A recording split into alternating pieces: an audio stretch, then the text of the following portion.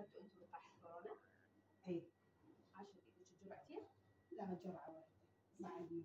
مو انت هسه أي. مع احترامي هسه. انت تلقيتي الفيروس. واخذتيه ما تلبسين كمامة حشاش انه غلط غلط.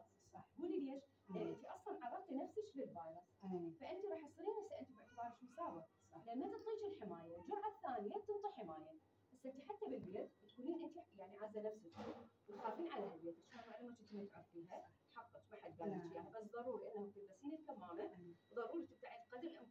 تاخذين الجرعة الثانية، يعني هسه أنت تعتبرين مصابة، صح؟ صحيح اخذتي أي. وعاشت إيدك بعض أي. المعلومات وهذه؟ اي بس شنو هسه أنت مصابة؟ لأن أنت حاملة الفيروس بس تصيري المحمية إذا ما تاخذين الجرعة الثانية.